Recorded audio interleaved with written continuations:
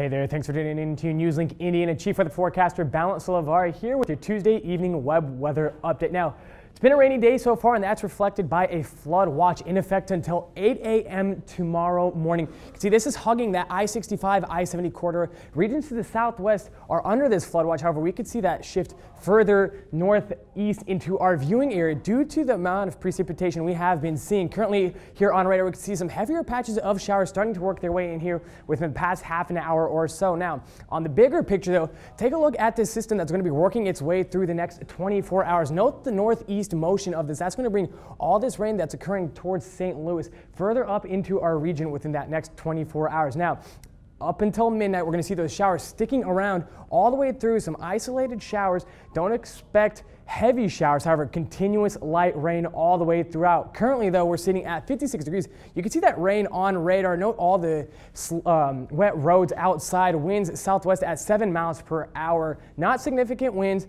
but still present. And through the overnight hours, we'll see the winds pick on up, ranging between 15 to 20 miles per hour. We can see gusts reaching anywhere upwards of 20 miles per hour. Overnight low, 44 degrees, and that rain continues through the overnight hours. And again, on Precision Cast, we'll see that rain stick around. It's picking it up at 10 p.m. Know these areas of darker greens and sometimes yellows. That's going to indicate where those heavier patches of rain are going to be occurring. And then by 6 a.m., you can see some clearing conditions start to set off further northwest of Indianapolis.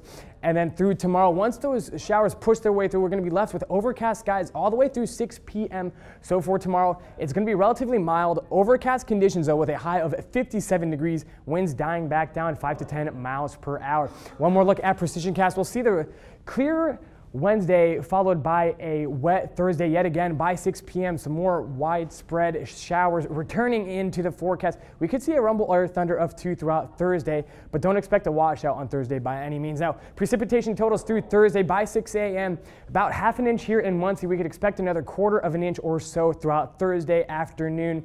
And then this five day precipitation chances were pretty active in terms of rain. 70% chance for rain on Thursday. For tomorrow, though, that's going to be through those morning hours as you saw in precision cast, and we'll see overcast skies throughout. Rain works its way back in on Saturday, though. However, temperatures are going to be quite uh, comfortable throughout the seven day forecast above average for this time of year. Average is 52 degrees. So 57 again for tomorrow, working our way back up to 60 degrees by Thursday. Coldest day is on Saturday. Next chance for rain though on Saturday after this system that we're seeing right now works its way on through.